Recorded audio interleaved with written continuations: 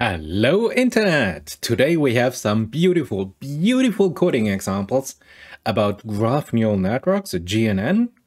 And I'm having here my SageMaker Studio Lab. This is a free Jupyter lab where we have some CPU and some GPU available for free. I'm running here on the CPU only version, so it's free for 12 hours on Amazon SageMaker, and let's dive right into it. So at first we want to have, of course, an inline representation of matplotlib, but then we go. We, you know about graph neural networks, a powerful tool for machine learning tasks on graphs. And what we will do here, we will load a DGL provided dataset, you know, there's a library, a deep graph library I already showed you in my last video. We use this library to build a model with uh, some modules I will show you in a second, and then we train and evaluate the graph neural network model for the specific task of node classification. And I will focus on CPU only, GPU I will show you in a later video. Of course, what we are doing, we are operating on PyTorch.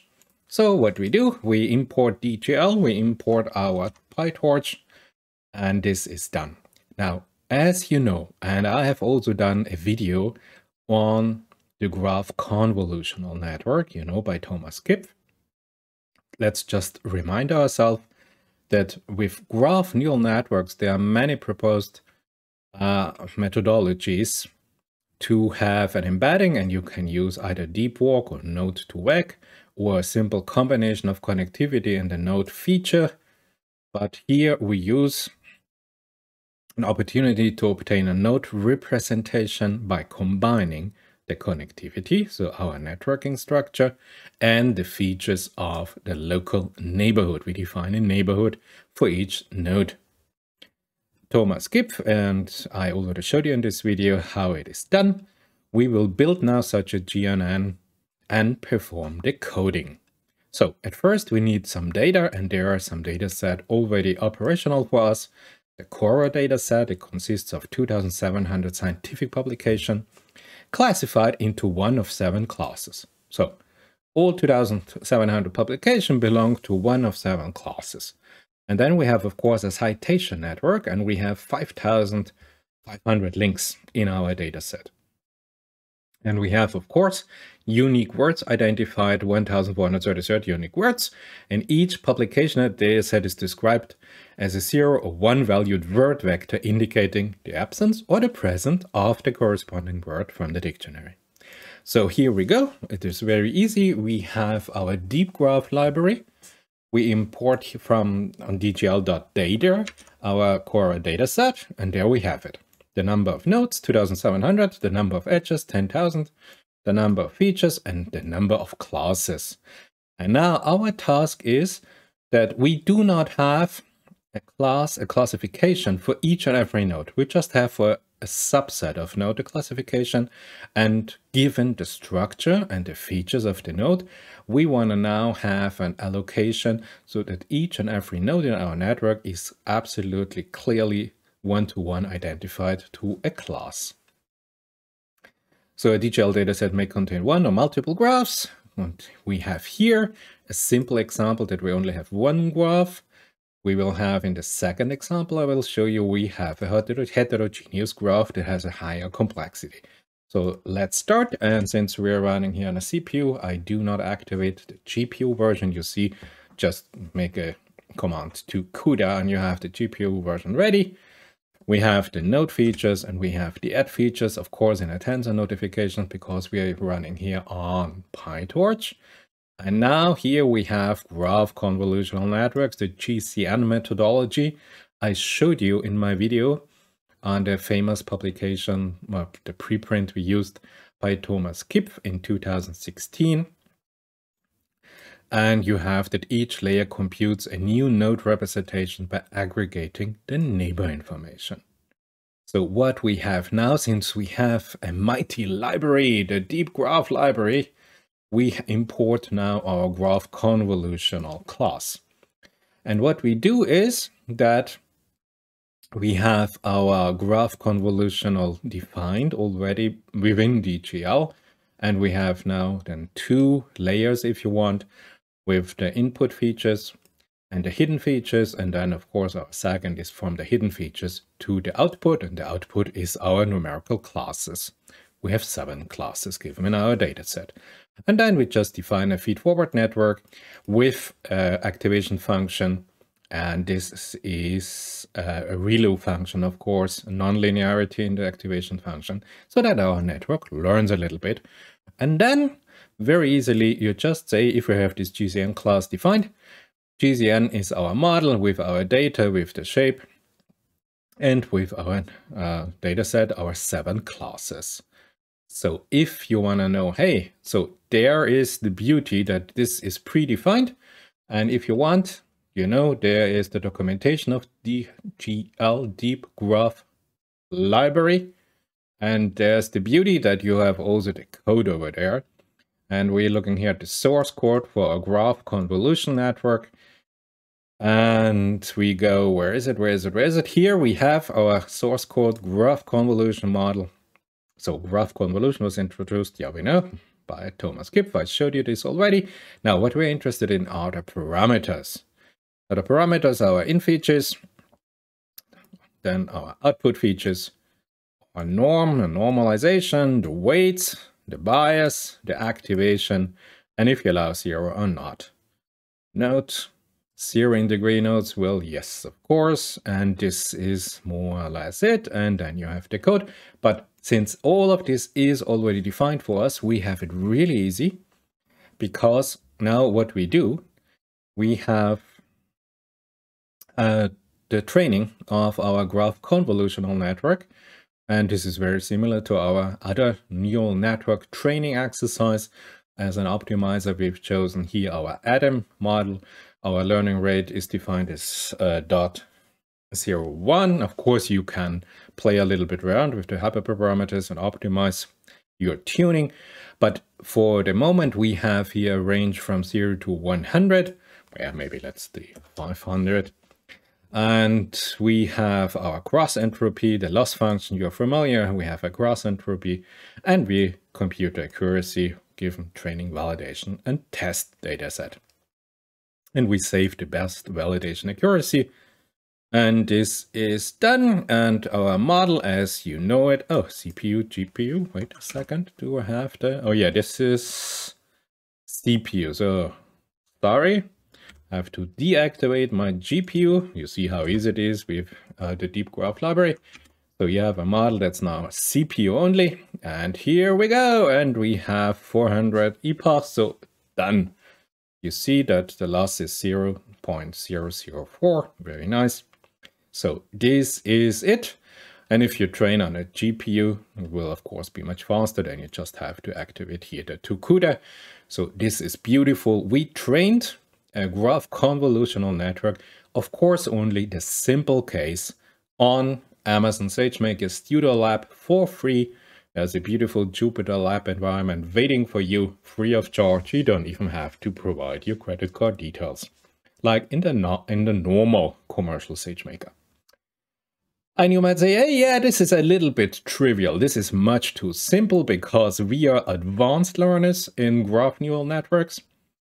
And then there's a beautiful, beautiful uh, Jupyter notebook. And I show you the authors. Those authors provided a beautiful notebook for us.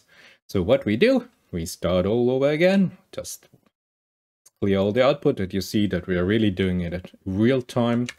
So again, we have our inline. And then depending now if you have a CPU only or a GPU accelerator working for you, you are either perform the installation. And of course, we already installed DGL. And we have also looking forward now that we are on the threshold to knowledge networks, to knowledge network embedding.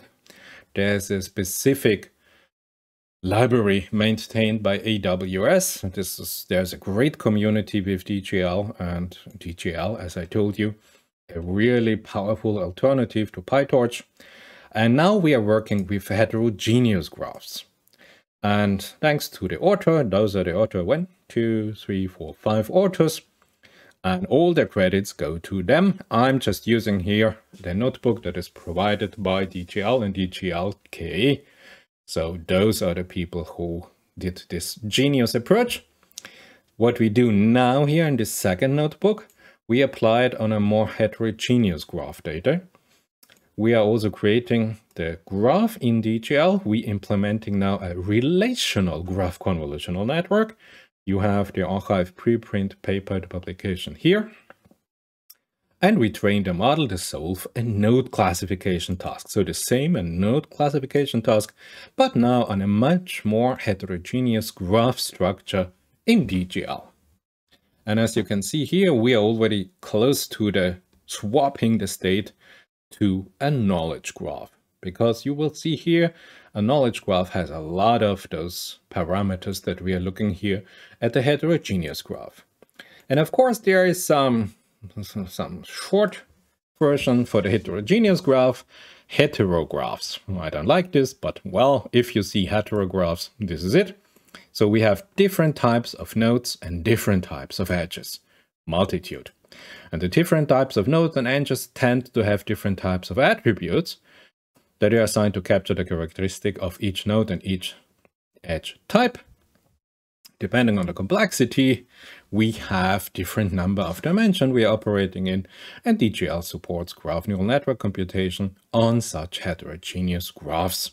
So let's jump into it. Where is our code? My goodness, where's the code? You're waiting for it. I, I know. You did a several graph, citation graph. Yeah, the citation graph, the knowledge graph. Here we go. We cross the border to a knowledge graph. Because knowledge graphs are inherently heterogeneous. So, hey, that was easy. That was a, a borderline we crossed easily.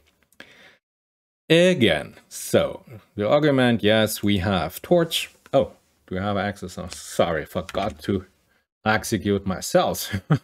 Not that we run into any troubles.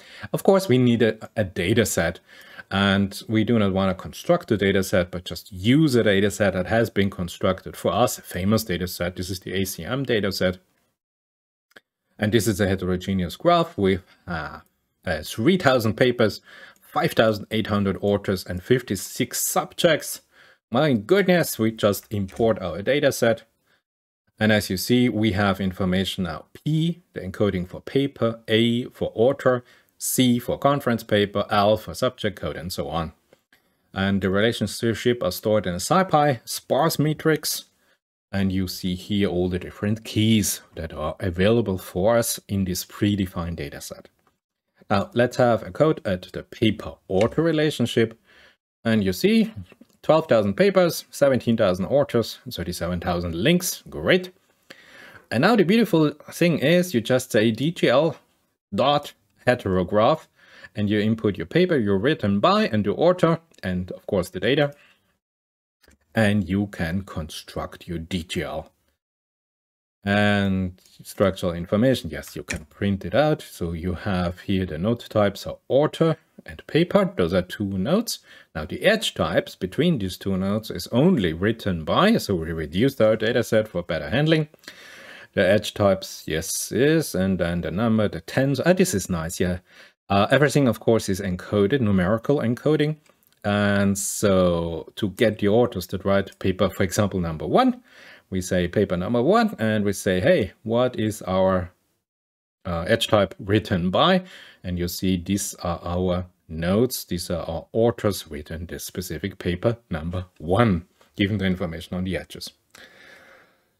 Yes, then we have, of course, the, the simple case. A homogeneous graph is just a special case of a hetero graph, heterogeneous graph with only one type. So heterogeneous with only one type reduces to homogeneous. Well, I suppose you are not amazed by this you can do this, yes. And then, of course, yeah, you can define it and blah. And you can even, if you uh, integrate GraphViz, I have not GraphViz installed currently, so will not be able to show it. No, it's not pre-installed with uh, Amazon SageMaker Studio Lab. But if you install GraphViz and then you install PyGraphviz, you can have here a plotted, you can plot your things. So now here we go. Graph neural networks. You know, we have three main tasks to perform. The first is node classification. The second is link prediction. And then, of course, you have graph classification to assign something, yeah, but we are focusing on the first one, on node classification in an easy case. So we're just going here easy, semi-supervised node classification.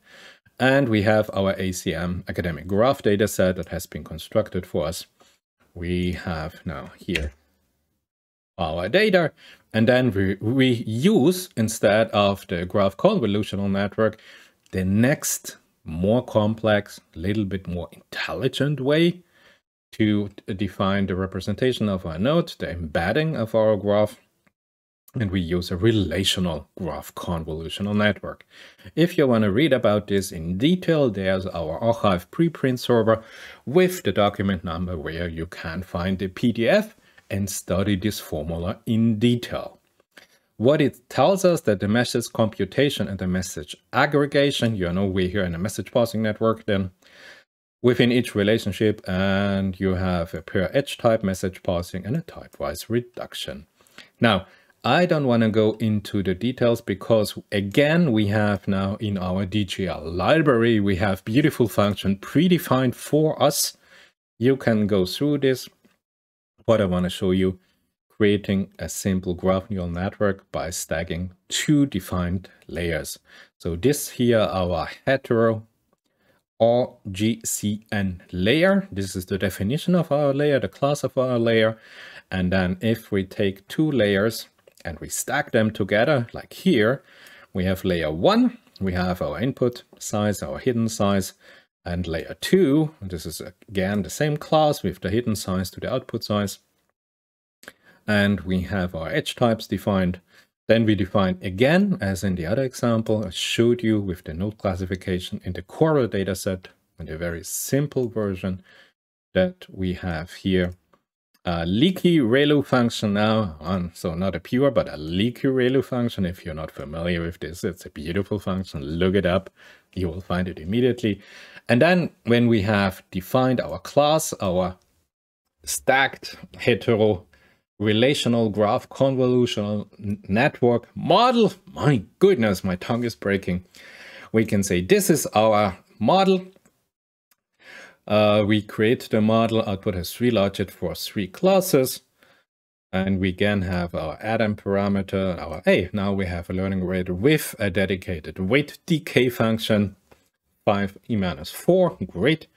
And then we just do, yeah, let's do 500 e I mean, when, let's do Let's do 1000. No, let's do 500. Let's not go crazy. Uh, we have again our loss function defined in, as in the old case, a cross entropy. And then you define blah, blah, blah. And let's run it. Let's see. Yes, it is working on a CPU. Isn't that beautiful? Yes, so we see the loss is reducing, reducing, reducing. Beautiful. So two very beautiful code examples we are thankful to the authors, those are the authors here, who came up with this beautiful code, with this beautiful idea, with the different implementation here, as you can see at Jupyter Lab. And I hope you enjoyed this too. Now, finally, code example after the last video who have been a little bit theoretical on the side of, of Lie groups, Lie groups implementation, and so on for graph convolutional network and different topological issues given the topological space we perform the embedding of our graph neural network in. This now finally some code examples and I hope you enjoyed our two little uh, Jupyter notebooks. I will leave the link for these notebooks below in the description of the video so you can download it. You can go to Amazon SageMaker Studio Lab it's a free Jupyter Lab with a free CPU and or a free GPU. You can run through this, you can enjoy it, and you can construct your own heterogeneous graph neural network. Thank you, and I see you in the next video.